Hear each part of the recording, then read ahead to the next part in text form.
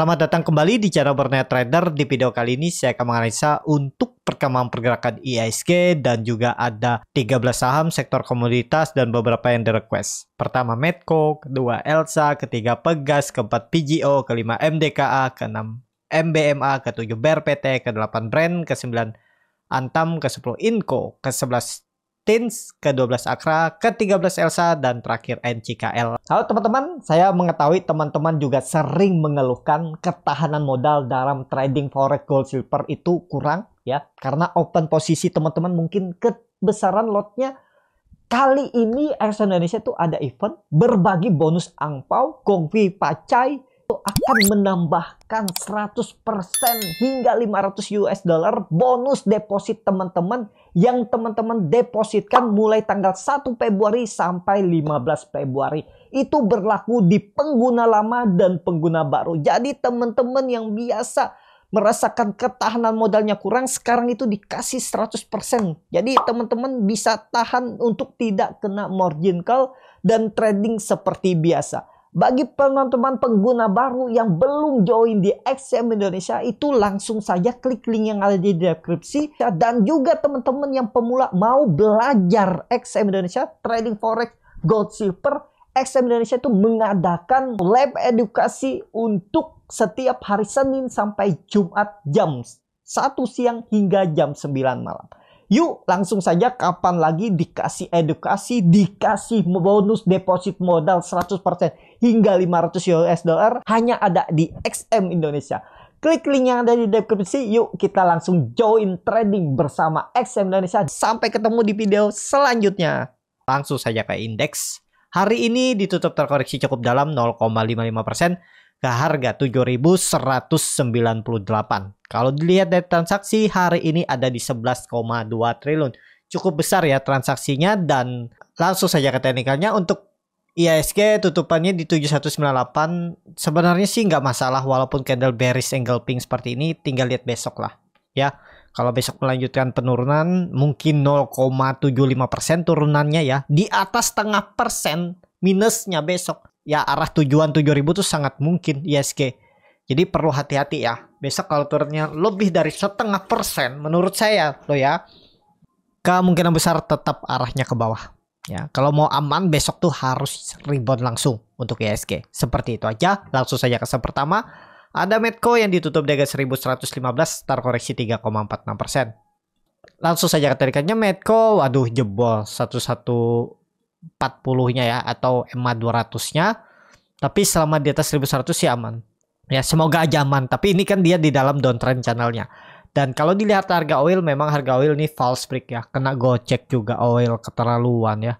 Sudah bagus di atas 75 naik dia ke resistennya dan ampro lagi kembali di bawah 74. Tapi sekarang dia di support trend line uptrendnya semoga aja nanti malam bisa menguat kembali ke 75 atau 74 kan cukup aman. Jadi untuk Medco sekarang ya sabar dulu lah Bapak Ibu ya. Potensi pola dead cat bone sih kalau jebol 1100 ke 1000 lagi dia. Tapi untuk tren jangka menengah menurut saya tetap akan uptrend tahun ini ya. Tetap akan menembus 1300-nya. Pokoknya arahnya 1300 lewat lah. Bahkan mungkin 1700 1800 itu bisa kalau oilnya nanti di atas 80. Jadi sabar aja tunggu untuk Medco. Jadi seperti itu aja Medco kalaupun ada yang spekulasi buy di 1100 tuh ya hati-hatilah kalau besok melanjutkan penurunan ya. Seperti itu.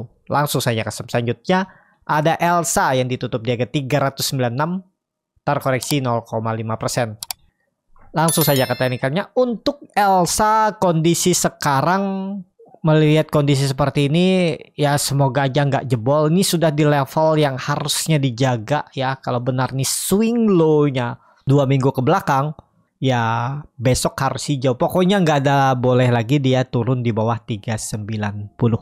Karena kalau dia turun ke bawah 390 itu seperti Medco nanti kemungkinan besar ke area supportnya ya kalau Elsa ini supportnya ada di 370. Nah, jadi kalau jebol 396 besok sangat mungkin Elsa ke 370 ya jadi bisa turun sekitar berapa tuh? 20 poin lagi. Sekitar berapa tuh? 5% dia turun. Ya kalau Bapak Ibu mau pakai average down silahkan juga. Tapi menurut saya pertimbangkan stop loss saja dulu ya. Tapi ya tergantung Bapak Ibu kalau jebol 390 nya untuk Elsa. Ya seperti itu aja. Untuk Elsa ya semoga aja lah nanti malam harga oil menguat ya. Tembus lagi 72 73 74 Elsa rebound ya bes pokoknya Elsa tuh harus rebound minggu ini. Jangan sampai tutup di bawah 390 besok kalau tutup di bawah 390 tuh rawan ke 370 untuk Elsa. Langsung saja ke selanjutnya. Ada Pegas yang ditutup di harga 1140 menguat 0,44 persen. Langsung saja ke teknikalnya. Untuk Pegas belum kayaknya ya. Tapi menurut saya nanti segera juga ditembusnya. 1200 ya tapi belum momentumnya saat ini kayaknya ya tunggu aja. Mungkin ya setelah ISG koreksi nanti mau uptrend. Nah itu baru. Nambah mungkin untuk pegas masih sideways supportnya bisa pakai 1050 nggak perlu pakai 1000 1050 pakai supportnya. Jadi ya Bapak Ibu kalau mau dikumpul-kumpul dulu boleh kumpul-kumpul aja dulu untuk Elsa saat ini. Ya jadi seperti itu aja untuk Elsa. Maksudnya untuk pegas langsung saja ke selanjutnya. Ada PGO yang ditutup di harga 1220 terkoreksi 5%. Luar biasa nih turunannya. Langsung saja ke teknikalnya. Nah, seperti ini ya. Yang kemarin perkiraan saya ya harus rebound antara dia naik tinggi atau dibuang dulu. Jadi kelihatan dibuang dulu ya. Kondisi sekarang untuk PGO ya tunggu di 1180-an nih lah. Area supportnya kita lihat ada buying power gak. Jadi kondisi sekarang kelihatannya akan uji support seperti itu. Untuk PGO, langsung saja ke selanjutnya. Ada MDKA yang ditutup di harga 2480, terkoreksi 2,74%. Langsung saja ke teknikalnya. MDKA kondisi sekarang belum. Jangan dipaksa deh. Ya, tunggu di 2200 saja tuh. Tunggu dia turun lagi 10% lah. Ya. Ya udah, tunggu di bawah. MDKA jangan dulu. Skip. Ya, kalau gimana nih yang nyangkut? Kalau mau stop loss stop loss dulu atau ya average down aja di 2200 asal sabar untuk MDKA. Langsung saja ke selanjutnya. Ada MBMA yang ditutup terkoreksi cukup dalam 4,28% ke harga 670. Ini juga saya ada kena nih. Cuman belum stop loss ya. Karena masih profit. Harusnya saya TP tadi di jebol 680 tadi TP tapi karena saya nggak lihat market lupa pasang auto stop loss profit karena belinya dari bawah kan 650 harusnya ya saya juga infokan di grup kalau bawah 640 680 pertimbangkan TP dulu. Tapi semoga aja besok rebound ya. Karena harga beli saya di 650 ya jelek-jeleknya saya kalau besok balik BP ya udahlah. Jual BP atau satu persen lah kalau dia ke 660 65 ya udah buang aja dulu. Ya yang penting nggak fee-nya terbayar ada profit dikit udahlah ya. Karena terlanjur kalau saya TP besok duluan takutnya dia rebound. Jadi ya kasih toleransi lagi mungkin satu persen setengah persen lah yang penting fee terbayar udahlah dengan itu metrai. Jadi lihat aja besok. Kalau dilihat koreksinya paling kecil, tiba-tiba besok kalau buying power ada, tiba langsung hijau sih aman. Moga-moga aja langsung hijau besok MBMA. Jangan turun ya. Seperti itu aja untuk MBMA lagi sideways. Kalau jebol 650, sidewaysnya cukup dalam tuh di 600 supportnya. Tapi kita lihat aja 640 harusnya dijaga ya kondisi seperti ini. Kalau nggak dijaga MBMA 640 650 nya ya lama dia di bawah. Nih pokoknya sideways-nya di bawah dulu lama ya. Jadi kalau mau aman harus rebound, harus bertahan di atas 650 untuk MBMA seperti itu. Langsung saja ke selanjutnya ada BRPT yang ditutup di harga 1030 terkoreksi 1,9 persen. Langsung saja ke teknikalnya. BRPT lagi sideways juga. Kondisi sekarang masih perlu hati-hati nih. BRPT ya. Tapi bagusnya tadi tuh cuannya arah ya. Ya kita lihat aja lah. Pokoknya di atas 1000 ya. Di atas 1000 masih hot aja. Tapi kalau Bapak Ibu perhatikan MDKA minggu kemarin sudah membentuk lower high. Jadi ini ada pola descending triangle. Kalau besok atau minggu ini jebol seribu karena minggu ini tiga hari perdagangan berarti Rabu terakhir perdagangan ya. Kamis libur, Jumat libur. Ya hati-hati. Kalau BRPT jebol seribu 850 arahnya bisa turun 15% itu untuk BRPT jadi skip aja kalau nyangkut gimana nih sabar aja kalau bapak ibu yang nyangkut sabar aja bisa average down di bawah aja sekalian ya kalau bingung cara average down bisa tonton video komunitas Borneo Trader YouTube itu pilih yang pro trader di sebelah tanda lonceng itu ada tulisan gabung pilih pro trader di situ ada caranya khusus saham-saham big cap saham-saham fundamental bagus yang bagi dividen caranya di situ ada. Yang penting sabar aja Bapak Ibu nunggu. Biasanya kalau yang seperti analisa saya itu ya recovery-nya kalau Bapak Ibu average dan sesuai teknik itu ya mungkin ya paling lama setahun lah hot sudah bisa profit ya. Coba aja dulu kalau nggak percaya ya. Tapi khusus saham berfundamental bagus. Kalau Bapak Ibu hantam pakai saham-saham gorengan ya resiko tanggung masing-masing aja gitu ya. Untuk teknik yang saya ajarkan di Pro Trader komunitas Borneo Trader. Jadi seperti itu. Untuk BRPT kita lihat besok aja ya. Langsung saja ke saham selanjutnya. Ada brand yang ditutup di harga 5.175 menguat 4,54 persen. Langsung saja ke brand bagus di atas 5.000 udah. Ini kalau Bapak Ibu mau ya. Kalau dia balik lagi di bawah 5000 tinggalin dulu. Udah. Kalau ada yang beli di harga 5175 ya pertimbangkan stop loss dulu kalau dia jebol 5000. Itu aja. Ini harusnya dia nge-swing atas. Jangan sampai jebol. Tapi karena sisa dua hari perdagangan besok dan Rabu ya kita lihat tiba-tiba ada profit taking ya gawat juga ya. Tapi teknikalnya sih bagus. Dia sudah membentuk swing low-nya minggu kemarin. Sam jangan sampai dia membentuk lower low lagi. Jebol lagi 5000. Kalau jebol gagal. Itu aja untuk brand. Langsung saja ke saham selanjutnya. Ada Antam yang ditutup di harga 1440. Kita koreksi 5,57%. Kalau dilihat data transaksi asing belum dibuka. Antam tertekan ya. Kira-kira sampai mana nih turunannya ya. Kalau menurut saya, nih, ini ada double top. Gambar ulang ya ini ada double top. Kalau Bapak Ibu perhatikan pola dead cat bone-nya kelihatan ya. Neckline 1600 1580-nya gagal. Pola dead cat bone dan ini ada double top. Diperhatikan nih double top ya. Dan tarik dari low ke high-nya ini arahnya kira-kira ya kira-kira tapi belum pasti. Berarti sekitaran 1350 1400. Itu targetnya. Dan kalau ditarik dengan Fibonacci retracement dari swing low ke swing high.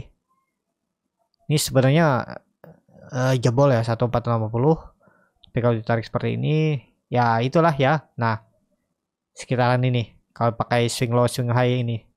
Sedikit lagi ya 1400 kita lihat 1400 sampai berapa tadi? 1370. Nah, hari ini kita gambar. Apakah di situ mantul? Nanti untuk Phantom kita lihat bagaimana melihat bid over, bagaimana melihat broker summary, bagaimana melihat chartnya, buy on weakness dengan cara scalping, saham-saham big cap untuk kalau Bapak Ibu tertarik itu bisa belajar di kelas scalping ya dan ada grup dua arah juga untuk Bapak Ibu membimbing sampai bisa Bapak Ibu mandiri ya. Kalau tertarik itu coba aja isi siapa tahu bulan depan saya buka ya, saya infokan. Seperti itu ya. Untuk Antam tunggu aja di 1400 1350. Kita lihat di situ apakah ada perlawanan, apakah ada bisa teknik rebound. Kemungkinan besar sih ada. Tapi disclaimer ya, kita lihat aja nanti ya. Nggak bisa kita cuma lihat gambar angka-angka seperti ini kan garis-garis. Tapi lihat nanti gimana kondisinya. Ada buying power nggak? Kalau ada baru masuk gitu. Seperti waktu itu saya analisa cepin ya. Kalau Bapak Ibu perhatikan nih. Cepin waktu itu candle merah itu saya suruh spek buy. Padahal kan lagi turun membentuk lower low, lower high. Kok berani? Nah itu kita melihat lagi kondisi broker summary, bid offernya seperti apa, buying power ada kak. Nah akhirnya profit tuh. Beli di 4480 sekarang udah profit 300-an poin, 200-an poin, 5%, 6% ada yang profit udah. Ya, target saya 4800 tuh. ESA juga waktu itu beli minggu kemarin tuh. Kok berani beli pas candle merah ini? Ya di 31 Januari itu candle merah esokannya beli kalau nggak 1 Februari. Kok berani beli? Ya itu kalau Bapak Ibu yang ikut di komunitas Borneo Trader YouTube itu juga saya infokan Esa Cepin sekarang udah profit kan seperti itu nah nggak selalu nangkap pisau jatuh tuh ambro tapi ya itu kita harus melihat memang ada buying power. Tapi nggak selalu ya. Kadang ada yang melesetnya juga ada. Tapi kalau sistem tradingnya oke, okay, ya risk kecil cut loss itu biasa. Paling nggak sampai paling satu dua kali. Lebihnya ya banyak profitnya. Kalau memang sesuai teknik, sesuai sistem trading yang sudah diuji gitu ya. Namanya trading tuh pasti ada cut lossnya. Nggak sesuai perkiraan itu.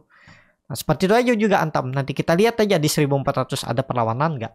Ya, langsung saja ke selanjutnya.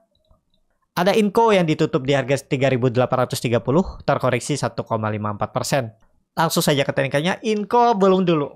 ya bisa jadi ini sideways range pendek tiba-tiba dibuang 3800 sih support kalau Bapak Ibu nangkap gara-gara ini melihat sideways ya boleh besok 2% jual jebol gitu aja. Ya kalau saya belum dulu untuk info. Menarik tadi tuh antam kalau ada koreksi ke 1400an tuh kita lihat nanti. Ya seperti itu aja untuk info. Langsung saja ke selanjutnya. Ada tins yang ditutup dengan 555 terkoreksi 1,76% langsung saja ke TNK-nya Tins jangan dulu tunggu di bawah. 500 tunggu di 500 saja. Udah gitu aja untuk Tins tunggu di 500 bagi yang belum punya yang sudah punya ya kalau mau average down di 500 tapi disclaimer ya namanya average down namanya nggak mau cut loss harus sabar menunggu sampai profit. Gitu aja. Seperti itu langsung saja ke selanjutnya. Ada Akra yang ditutup di 1605 menguat 0,94% langsung saja ke tekniknya Akra lagi sideways ya di 1600 dia ini cukup kuat ya harga minyak do, turun dalam dia masih mampu bertahan.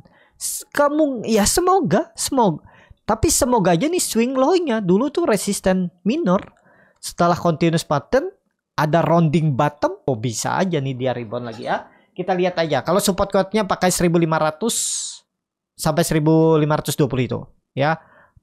Akra ini trennya akan uptrend tetap uptrend tahun ini ya tetap akan menembus 1600 1700-nya bahkan bisa ke 1800 untuk Akra. Tunggu aja Akra nih. Menarik Akra kumpul-kumpul aja kalau menurut saya ya, tapi disclaimer. Seperti itu aja untuk Akra. Langsung saja ke selanjutnya ada ESA yang ditutup di harga 545 menguat 7,92%. Langsung saja ke teknikannya. Nah, ini ESA ya. ESA bagus nih. Rebound koreksi tipis dan rebound lagi dan nggak ganggu psikologis. Kenapa nggak ganggu psikologis? Karena belinya kemarin tuh di bawah 500. Saya infokan juga di grup. Pokoknya selama di atas 500 hold. Kalau jebol 500 ya jelek-jeleknya TP cuman satu persen satu setengah persen udahlah ya skenario terburuknya kenapa karena kita melihat dia koreksi volume kecil ya hold aja dulu di atas 500 sekarang udah floating profit lagi ya 7% tambah 2% hampir 10% ya. Tuh, tinggal lihat nanti 5560, 550 itu target saya. Semoga sampai habis itu ya 600 untuk ESA. Jadi kalau ditanya boleh beli, jangan beli harga sekarang Bapak Ibu habis kena makan bandar atau kena makan uh, retail yang profit taking. Kalau dia nggak mampu nambus 550 560 mungkin ada yang profit taking kena guyur bandar mungkin ah, ambrol lagi tunggu di bawah lagi kemungkinan juga masih sideways jadi gagal nanti dia menembus 560 turun lagi ke 550 ke 500. Ya gitu aja. Jadi harga sekarang tuh memang nggak cocok kalau untuk beli swing. Apalagi SK yang susah naik kan. Yang ada kena makan. Beli sekarang tuh beli-beli di support. Ya seperti itu aja untuk ESA langsung saja ke saham terakhir. Ada NCKL yang ditutup di 890.